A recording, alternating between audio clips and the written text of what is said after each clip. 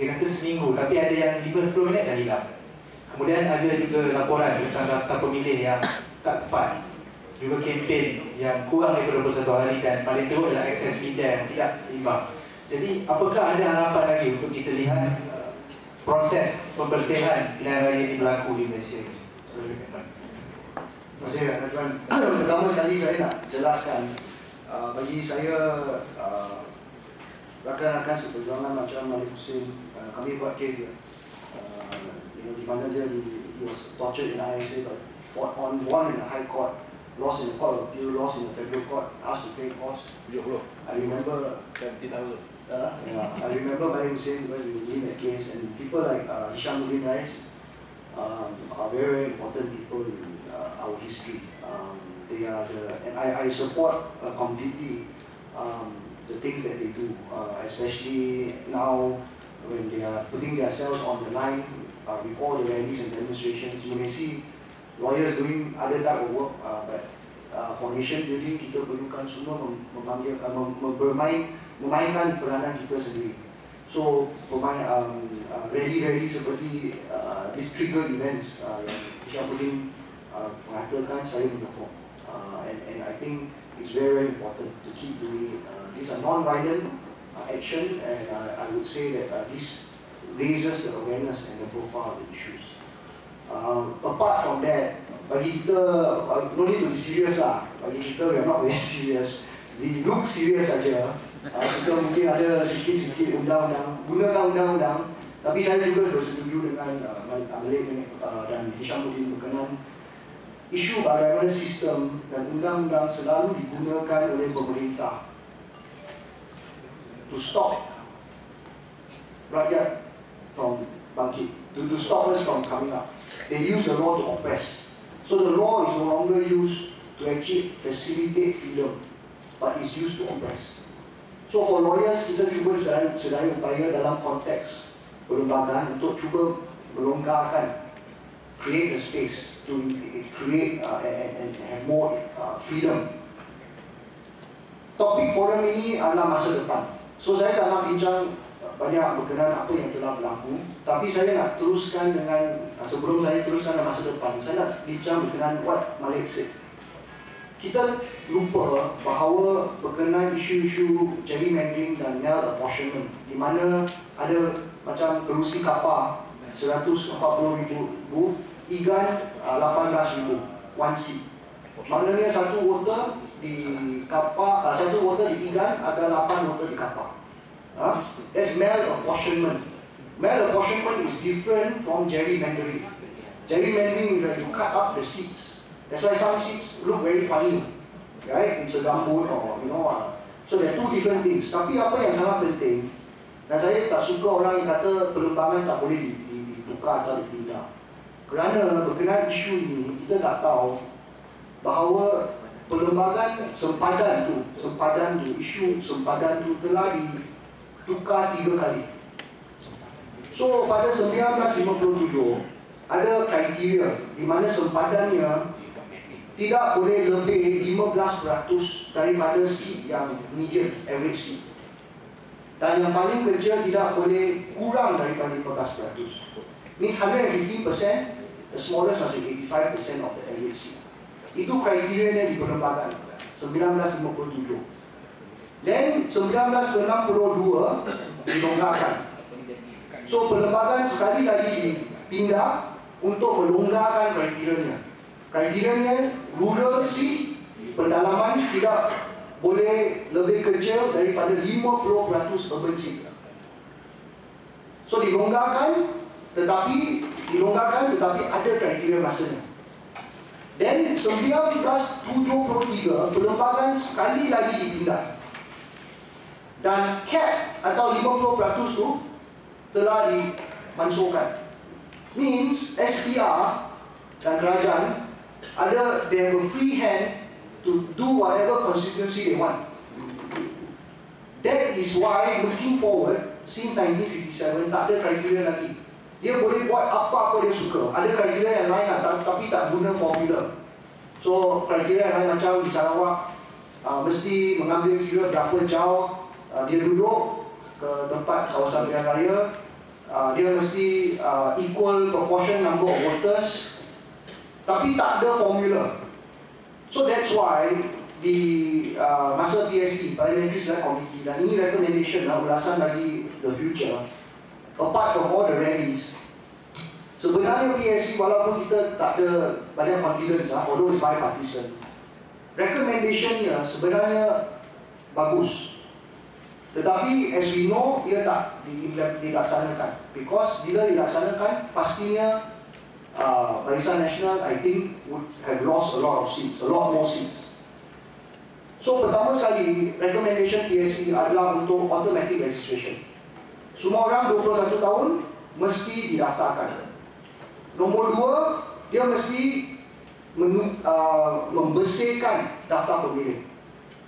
Dia telah kata, mesti mendaftarkan daftar pemilih menggunakan rekod NRD dengan rekod SPR dan cuba menyelaraskan Nombor tiga, dia telah kata, dia mesti bukan hapuskan SPR lah tapi dia kata tukar SPR tukar SPR untuk uh, pelantikan pengerusi dengan enam orang member dia guna proses yang sama untuk melantik hakim mahkamah tinggi. Which is stricter. Susah nak, nak jadi hakim kan?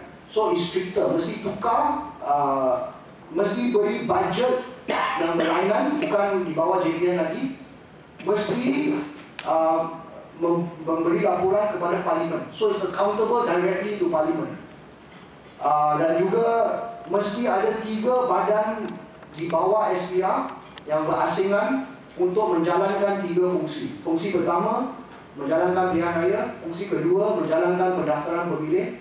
Dan fungsi yang ketiga, untuk membuat delimitation, bahagian-bahagian sempadan uh, konstitusi. Jadi PSC tahu fungsi-fungsi SPR itu dah tidak di, di, dibuat dengan betul. Tanggungjawab dia berat tetapi SPR tak berfungsi dengan baik. So telah mengatakan SPR perlu buat ini untuk menjadi lebih bebas, untuk menjadi lebih adil sama. Dan recommendation yang sangat penting berkaitan gerrymandering dan mass apportionment saya nak baca kerana kita mesti apabila kita ingat apakah campaign yang kita perlu buat untuk PRU 14 kerana tahun ini adalah tahun ke-10. 2003 was the last delimitation exercise. Di mana uh, boundary telah dipotong. Tahun ini, I think akhir tahun ini, is the next exercise.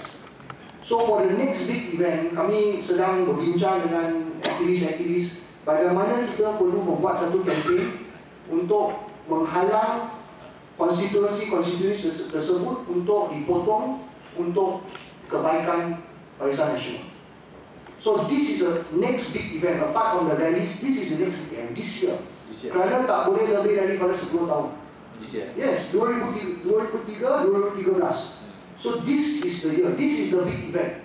So we can talk about per se, but this is the big event. We need to tell the people apa yang kita perlu buat. And I pun tak, tak, tak, tak tahu lagi kita, kita perlu bincang But this is a problem because for Barisan Nasional because of this.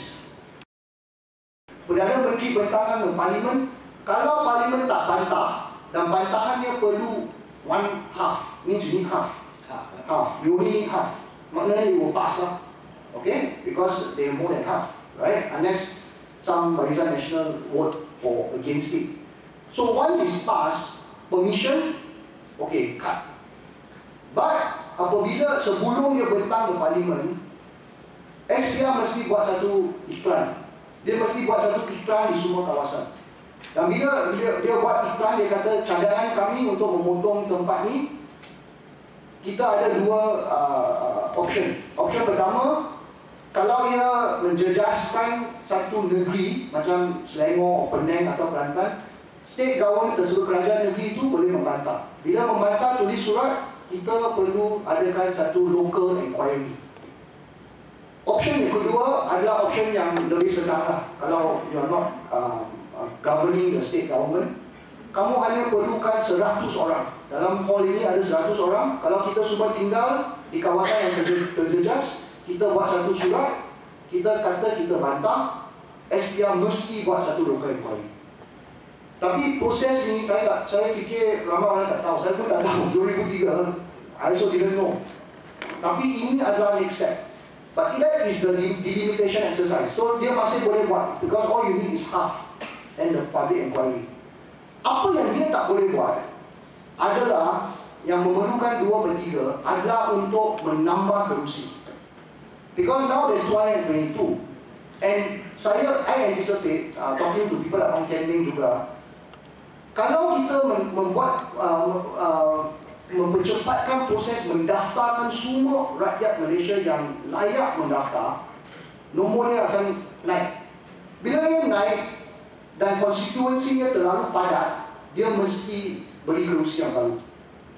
Because ada formula ni lah, berapa, tak boleh lebih, like kapal ni 141,000 is very unreasonable. But let's assume you add another 10-20,000 to kapal, they need to cut up the seat.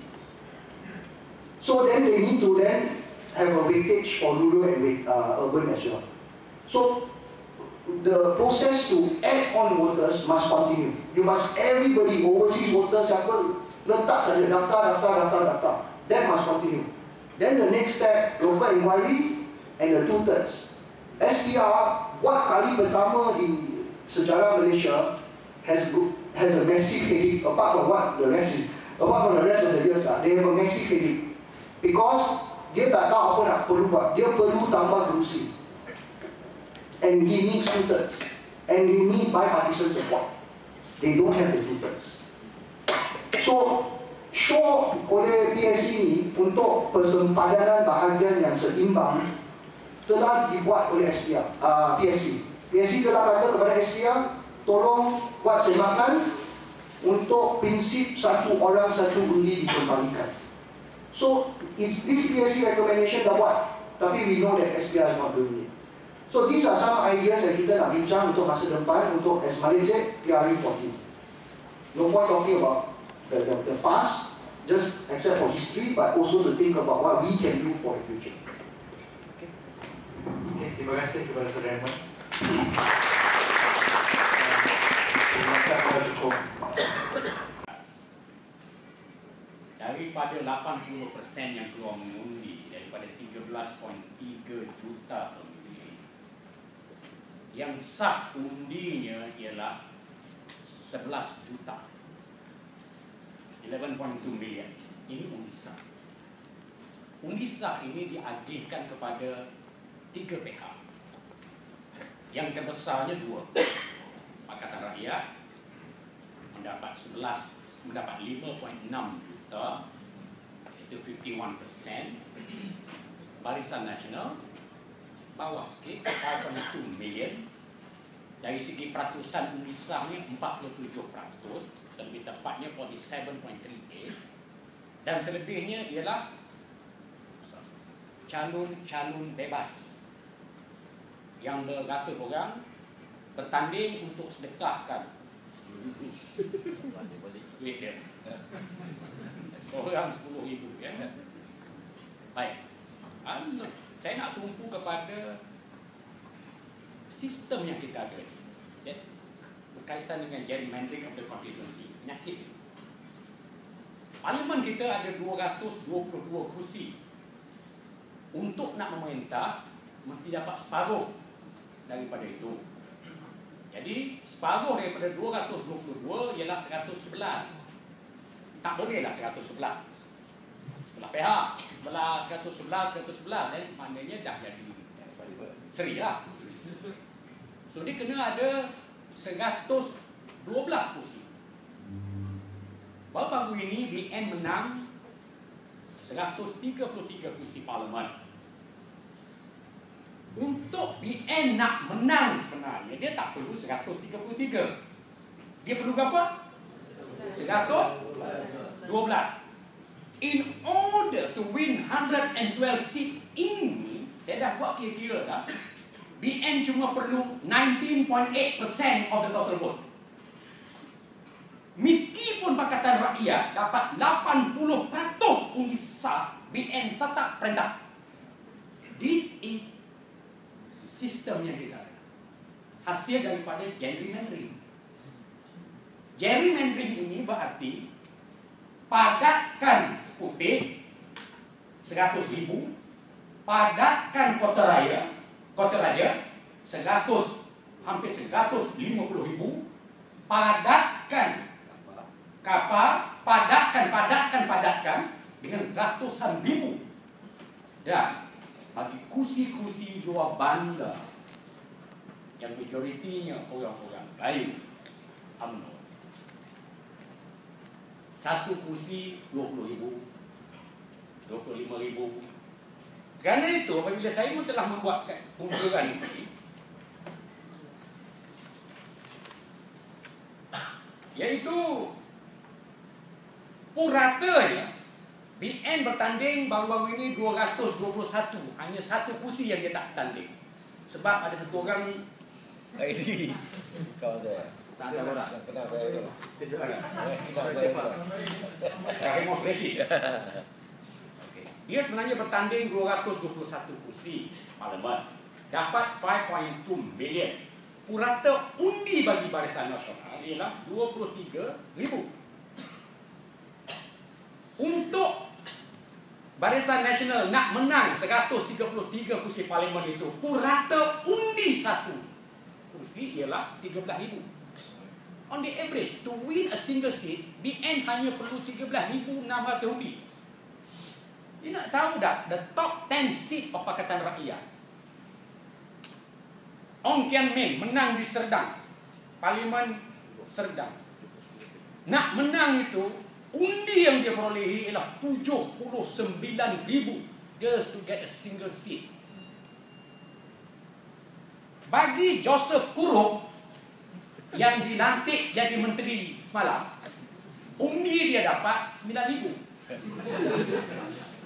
Bagi Punan 10,000. 10. Ya. Dan saya dah buat perkiraan dah. The top 10 of Pakatan Rakyat melibatkan 8 kursi di Selangor dan dua lagi di luar Selangor. Yang dua di luar Selangor itu ialah Parlimen Seputih, Wilayah Persekutuan Teresa Kop dan Bukit Mertajam dan di Penang. Campur 8 itu, the top 10 of Pakatan Rakyat seat ialah 633,100 undi purata satu kawasan parlimen 63,000. 63,000 vote and you got one seat untuk menteri yang jaga SPR di Padang Rengas itu. Eh hey, jangan tertelah my friend. Eh. Hari ini dia jadi menteri pelancongan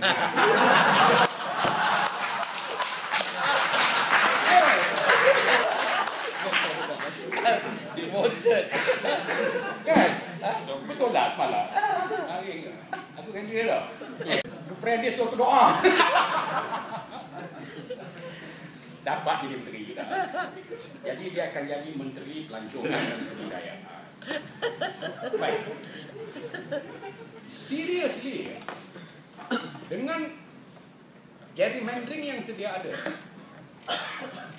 dengan saya letakkan Najib masih menang di Pekat with 53,000 vote campur dengan 111 yang lain. Bagi membolehkan ada simple majority of 112 parliamentary seat BN cuma perlu on the average 10,000 ni for every seat. Jadi artinya sistem sebenarnya is not about kerana tempat tu ramai Cina kenapa engkau tak Melayu? Kenapa ramainya Melayu kau tak letak aku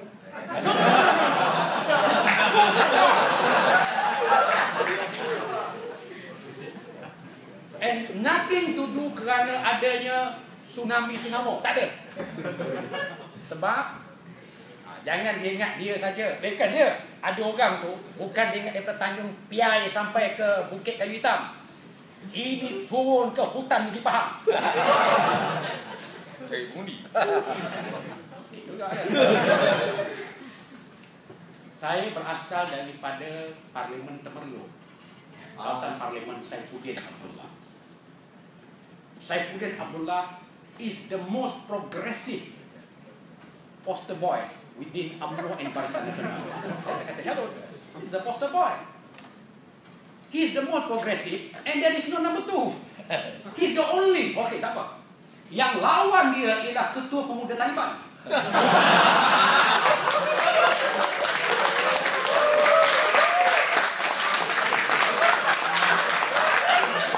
Aku sebut ni sebab yang kopiah orang je. Kalau semua kopiah yang tak pakai kopiah tinggal seorang. Dia Sekalipan seorang. Lawan dengan Saifuddin Abdullah. Saifuddin Abdullah anak murid saya.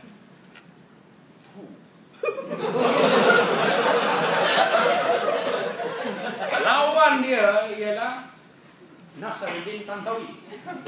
Nasaruddin orang besar. Datang ke Temerloh within the few days before nomination. On paper akan kalah. Baik. Saya turun ke kampung saya di Don Mentakap. Daerah mengundi, saluran mengundi ialah kampung Tanjung Kerayong. Adik saya penggerak di situ. Jumlah pemilih, pemilih bukan pengundi ya. Pengundi berarti orang yang pergi mengundi. Pemilih yang ada dalam daftar pemilih, yang ada dalam daftar itu bukan pengundi, itu pemilih. You must know how to differentiate between pemilih dalam daftar pemilih dengan pengundi yang actually pergi ke itu. The difference. The difference between electors within the electoral roll and the voters who actually casted their vote. Between voters and electors, pemilih dengan ini. Baik. Di kampung saya ada 874 orang pemilih. Saya turun pada hari buruh, saya ingat 1 Mei.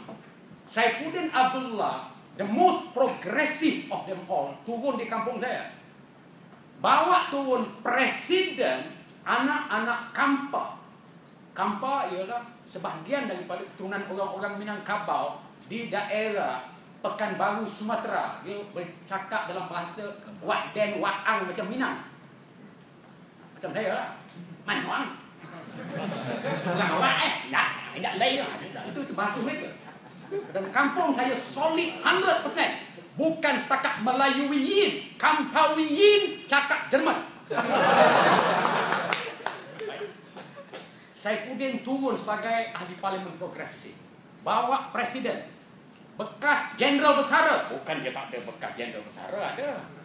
Yang memihak kepada dia iaitu Jenderal Amiruddin Baharudin yang dahulunya masa kes Sauk dia ialah pengerusi jawatan kuasa penyiasat mewakili Kementerian Pertahanan bagi menyiasat insiden Sauk. So dia in the army number 3 kuat bawa pahaman kaumia bersama dengan Saifuddin Abdullah. What a paradox, what an hypocrisy Saifuddin Abdullah ni. Di luar digambarkan sebagai seorang yang progresif. Adik saya call, tolong bang turun. Saya tak nak campur pasal eh, ini soal dia nak bertanding. I, I believe they should ini. Tapi bila sampai ke peringkat, you come to my kampung, 874 elected, you hasut Saifuddin, in the names of you kononnya seorang progresif, but on the ground, you are as any other equal bla bla bla bla. Yang ni. Saya tak nak pula saya pudin tangan saya sebab dua kalah kan. Duit juga. Duit. Baik. Poinnya ni, saya turun. Saya tak attack Saifuddin, saya tak attack dan saya tidak anjurkan untuk menyokong Nasaruddin Tantawi. Sebab aku pun tak faham Mekah dia pun.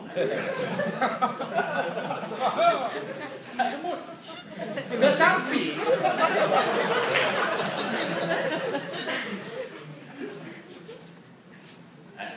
kalau pun saya kena pangkah pun saya tak tak boleh pangkah sebab saya pengundi di lembah pantai. no matter how dia nak force pun tak boleh. Ah, dan saya undi saya sepanjang masa saya beritahu. Undi rahsia. Siapa yang kita undi itu rahsia. Itu in the law. Election laws. Undi rahsia. Siapa kita undi rahsia. Dia tak bagi tahu pula siapa yang kita tak undi.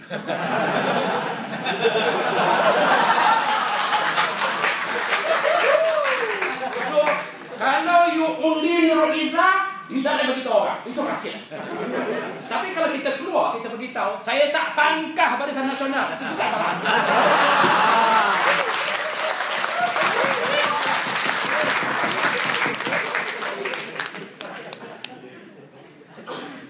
Number two, how do you expect tindakan akan dibuat dalam sistem ini selama kita bergantung kepada satu suruhanjaya yang kepala otak dia bukan nak membuat penambahbaikan kepada sistem. Mereka ada kuasa. Kuasa yang diberikan undang-undang. Akta-akta yang berkaitan dengan pilihan raya. Pertama, SPR ini dibentuk oleh perlembagaan. It is, it is a constitutional body. Dibentuk di bawah perkara 114. Syarat dia mudah.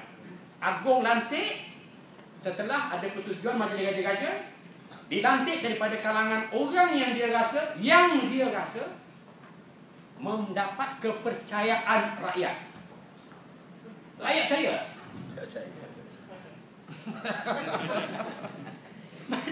The question of public confidence benda tu dalam perlembagaan tetapi ia tidak dapat kita bawa untuk tukarkan Suruhanjaya ialah kerana yang melantiknya UMNO dan UMNO nak dia begitu.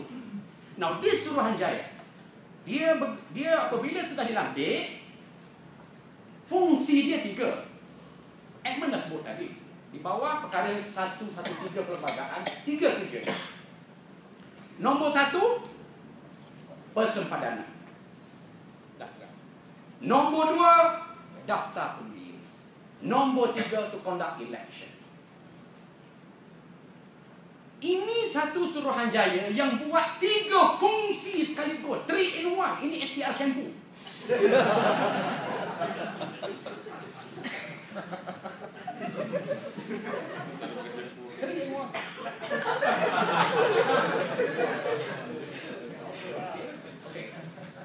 Di England, in UK, kita sistem Westminster Democracy, tapi kita tak ikut. In Britain, pilihan raya satu badan. Daftar pemilih, badan yang lain. Persepadanan, another different body. Isteri separate body. Kalau berlaku pemisahan ini, ini pun sudah satu petanda yang baik. But they won't allow that. Kerana saya tahu bahawa muka yang ada di SPR yang ada sekarang ini, pengerusi dia ada conflict of interest masa dia menjadi KSU Kementerian Dalam Negeri. And mind you, tiap kali dia nak ambilnya, dia mesti ambil orang hak yang bermasalah. Sebab kalau yang bermasalah berarti tak ada integriti. Bila orang ada integriti, dia boleh berdiri di atas kakinya sendiri. Will stand on his own feet and dia tidak akan mudah tunduk kepada sesiapa pun yang mengarahkan dia kerana dia tahu bahawa dia mempunyai kuasa menurut perlembagaan dan dia dilindungi oleh perlembagaan but not this guy. Saya tak naklah cerita tapi kalau ini bukannya public inquiry berkenaan dengan dia. Nanti walaupun saya tahu anak dia ada kepentingan dengan hak pertahanan yang diterima oleh hak kedai But the culprit semuanya sama ada kita tukar atau tidak tukar pengurusinya ialah yang nombor dua. Datuk Wan Ahmad. Even the previous pengurusi, my good friend Tan Sri Rashid, dia mencerita pada saya. Dia beritahu pada saya, tentang cara tindak tanduk yang dilakukan oleh SPR. Padahal dia bersama dulu.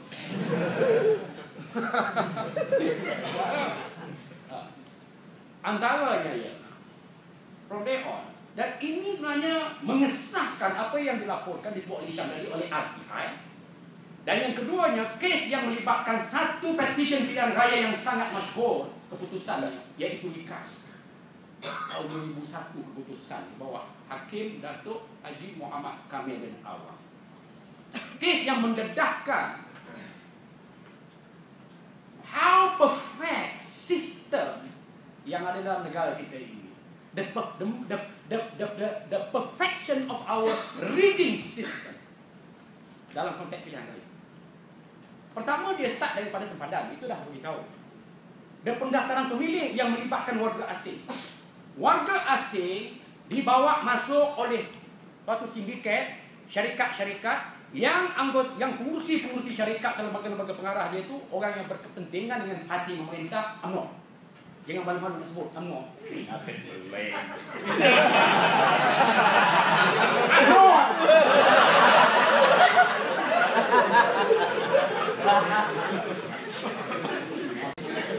Oh nak sebut dia Inggeris lah. Menjajah kolonial punya.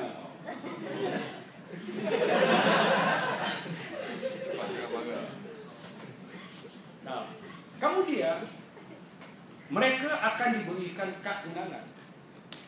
Kad pengenalan itu diisu oleh satu.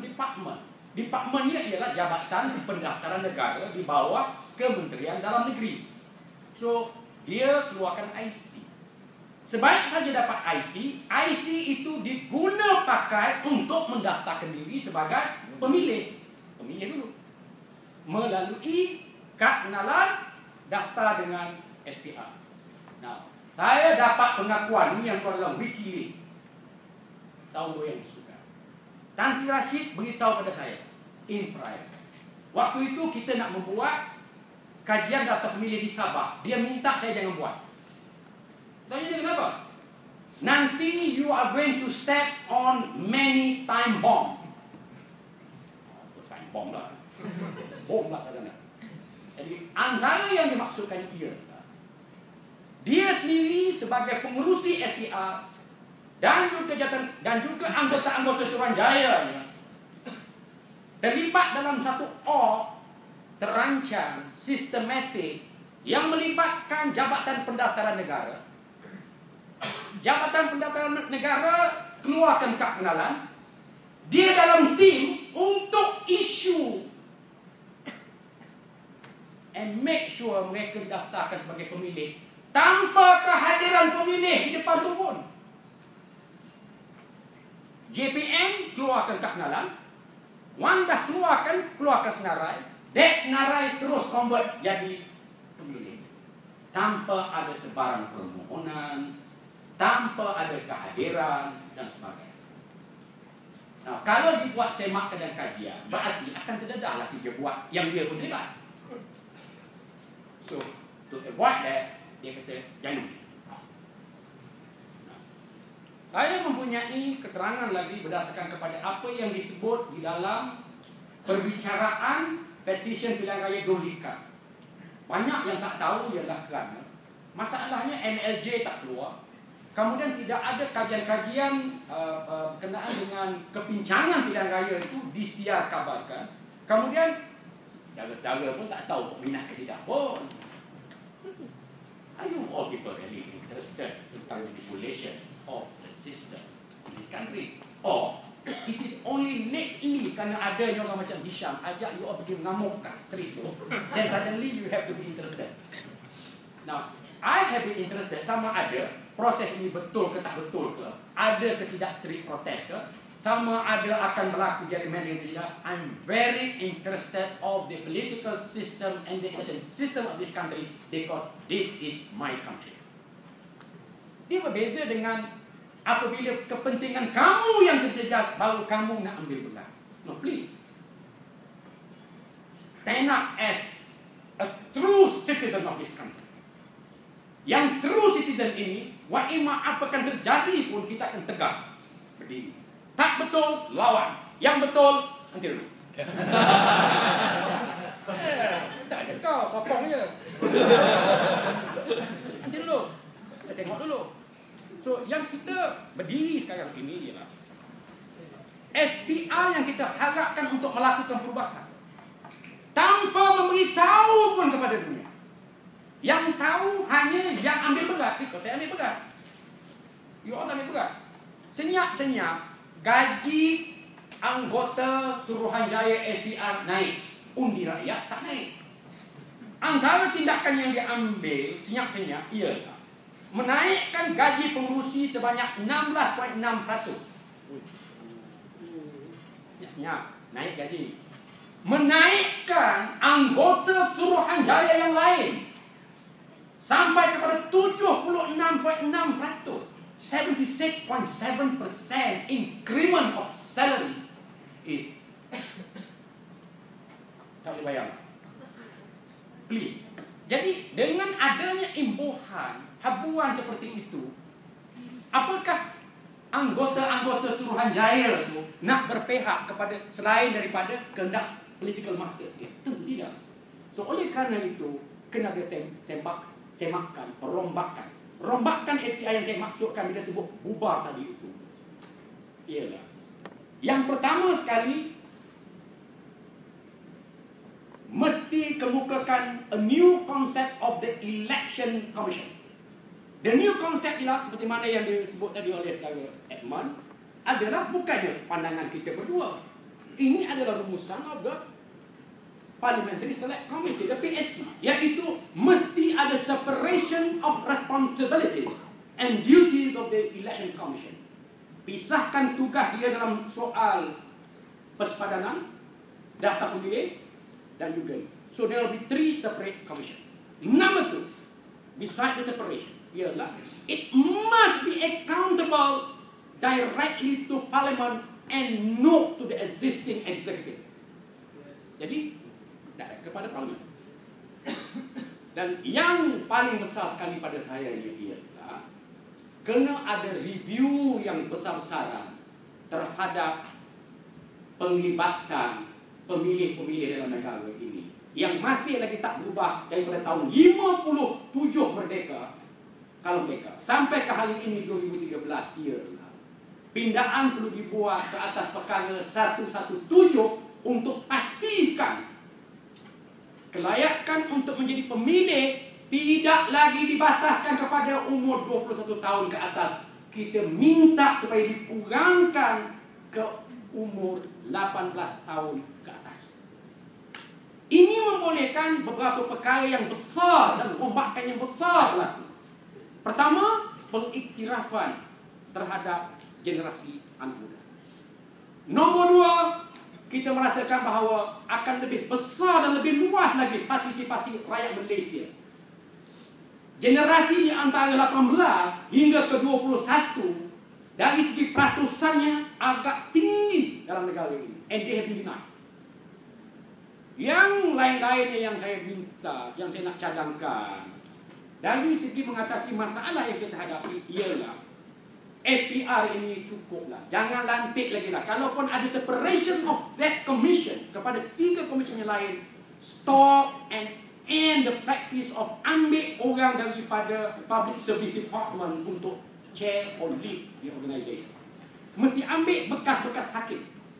Kalaupun terpaksa kita ambil orang daripada luar negara sekalipun, well, why not? Asalkan mereka memenuhi kriteria mempunyai kewibawaan profesionalisme dan yang terbaik sekali warga negara. But here we have a serious problem bahawa sekalipun orang itu daripada dalam negara kita, sekalipun diambil daripada ni, they are not impartial. Right. Sistem pemilihan kita from first past the post to proportionate representation. Saya sudah membuat unjuran terhadap keputusan pilihan raya pilihan raya kita ini jika diunjurkan mengikut sistem uh, PR.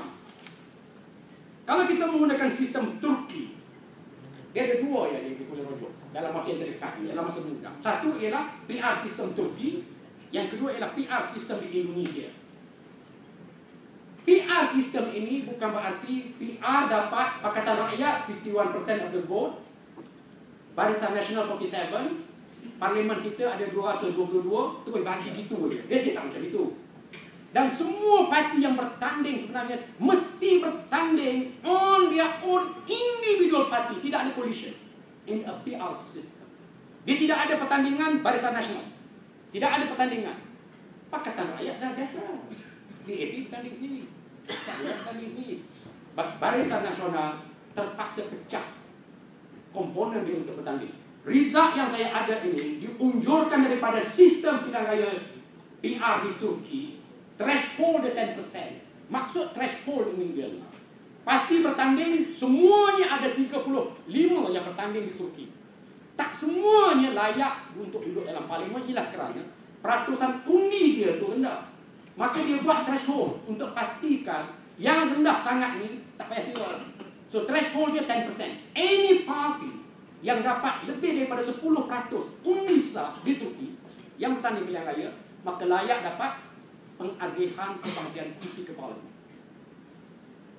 So, dengan sistem pengiraan yang kompleks ini, kalau diguna pakai dalam pilihan raya, dan PAC memang ada minta supaya SPR buat semakan dan SPR kata ini dia tak boleh buat, dia nak tumpu kepada pihak ini 13 nothing. Nothing in their mind because how can they have something because they are all brainless. Bird brain. Jika sistem Turki ini dilaksanakan dalam pilihan raya baru ini, UMNO akan dapat 77 kursi. Dan UMNO is the only party yang akan dapat kursi. MCA, MIC, apa benda semua tak ada. Bah, 10%. Tak ada eh, di bawah ni. Baik. PKR akan dapat 58 kursi, DAP 45, PAS 42, jumlah kursi Pakatan Rakyat 145, UMNO 77 mewakili Barisan Nasional Pakatan Rakyat form the government with a majority of 68 parliamentary seats. Kalau kita menggunakan absolute proportional representation system ala Turki. But maybe dia kata, apa ikut Turki? Kita Southeast Asia, okey. Kita follow Indonesia. Okay. The Indonesian system, threshold dia tak tinggi. Tak macam di Turki. Turki 10%. Indonesia 2.5%, bawah lagi. So, parti-parti yang bertanding tadi secara individu dalam pilihan raya di Indonesia, jika dia mendapat undi lebih daripada 2.5%, maka layaklah dapat pengagihan kursi di Dewan Perwakilan Rakyat DPR. Di Malaysia, PRU13 menunjukkan kalau kita apply sistem Indonesia 2.5% threshold, tiga parti daripada Barisan Nasional layak dapat kursi. Satu UMNO 68 kursi. Dua MCA 20 kursi. Tiga MIC 7 kursi. PBB, PRS, Parti Perah, Parti Nyamuk, Barisan Nasional tak. Semuanya below 2.5. I'm very sorry lah. Ya. BKR 51 seat. DAP 39. PAS 37. Campur semua. BN, NDN, Pakatan Rakyat. BN akan dapat 97 kursi parlimen. Pakatan Rakyat 125 still boleh tubuh kerajaan dengan majoriti 28 kursi. Kalau inilah sistem yang diguna pakai. Dah tentulah UMNO dah tertiarak pada 5 tengah malam 5 bulan atau 6 bulan. There is no way UMNO akan ubah sistem ini selagi berkuasa. There is no political party for that matter, any ruling party, any government party akan tindak undang-undang to commit suicide. I will put up this law because through this law I'm going to lose power. Dua, sistem. Sistem dengan gerrymandering daripada persempadanan, dengan daftar pemilih, dengan proses, there is no way untuk ubah. Dalam hal ini, bukan saya tak bersetuju dengan Isyamuddin Raid. Yang saya tak bersetuju ialah in no way street protest boleh tumbangkan kerajaan kalau hanya nak berdemo satu hari. Marcos tumbang setelah dia menipu. In 1986, Marcos tidak menang pilihan raya. SPR dia, the Commission of Election, COMELEC in the Philippines, mengisytiharkan Marcos dapat 10 juta, Corazon Aquino 9 juta, majoriti memihak kepada Marcos. Kumpulan Badan Pemerhati Pilihan Raya Bebas NAMFRED membuat pemantauan di peringkat grassroots dan melihat keputusan. Orang 14 pun dia terlibat. Dapat dan kumpulkan seluruh negara. Keputusannya ialah Corazon yang menang. Mangkok Marcos kalah. Akan tetapi SPR dia umum Marcos menang. Apa rakyat dia buat? Rakyat dia reject keputusan. Rakyat dia terus berkumpul di highway seluruh yang mengelilingi Manila the Extra Highway. Hari pertama 20 ribu, hari kedua 200 ribu, hari ketiga 2 juta. Masuk hari yang keempat, Marcos angkat sumpah depan 3 ribu orang. Mengistiakan diri dia presiden, Corazon Aquino mengangkat sumpah di tengah layak ramai 3 juta orang. Now with that in mind, with that public pressure, bukan nak menggulingkan kerajaan. Because of that demonstration of that arithmetic of democracy. Ramainya orang turun. Itu merupakan satu tekanan yang membolehkan perubahan. Now, there is no power. Tidak ada diktator akan terus kekal berkuasa jika sekiranya the pillars of power tumbang. Antara pillarsnya ialah anggota tentera, civil service dan mereka-mereka yang kuat menyokong dia. In the Philippines, apabila berlaku the people's power and relay defect, Ramos defect. Dalam keadaan seperti itu, maka berlaku crack to that pillars of power. Pillars of power ini apabila sudah berlaku crack, there is no way diktator macam Marcos boleh bertahan. Begitu juga masa zaman Shah. Shah Iran. Dia boleh bertahan lama ialah kerana pillars of power dia itu tidak pernah mampu digoncangkan. Tetapi apabila jutaan rakyat turun, dia tak juga berhenti. Tetapi pillars of power to crack. General-general daripada armed forces telah defect. General-general daripada emiral-emiral daripada TLDM dia defect. Dan ekoran daripada defection itu berlakulah the, that erosion of the pillars of power. Dan tumbang syahiran. Cabut lagi. Sama juga macam Markov. And that also apply untuk reformasi di Indonesia. Di Indonesia, Soeharto kuat. Tapi apabila berlaku reformasi, student, Trisakti, mati tiga orang. Tembak. Student occupied. Berterusan. Akhirnya berlaku crack ialah apabila Wiranto defected dan beberapa orang lagi jatuh. Di defection menimbulkan crack tidak sistem. That cracking of the system telah menyebabkan Suharto berhenti, Marcos lari, Shah lari. And tindakan yang mereka buat, my dear Hisham, bukan. Eh, satu. Terima kasih.